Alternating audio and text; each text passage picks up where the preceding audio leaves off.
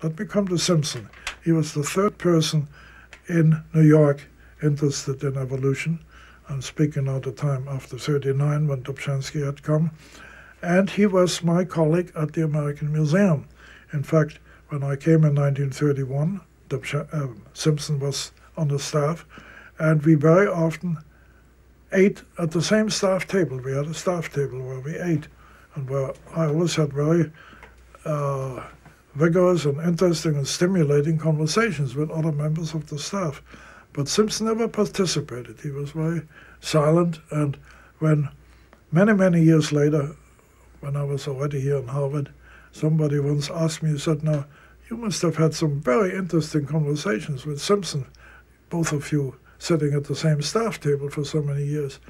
And I thought about it, and by God, I couldn't think of a single one. And I felt a little uncomfortable about that, so I wrote a letter to Simpson, which is in my file somewhere. And I said, What about that? Is, what, what is your impression? And he wrote back, Yes, you're quite right. We never had any scientific conversations.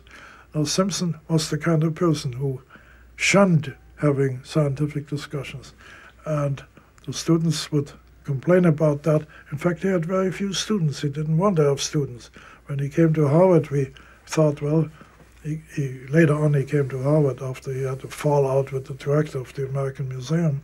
We thought he would establish a fine school of students now, but he refused to accept any students, and so he was in Harvard for a number of years without ever having acquired a single student.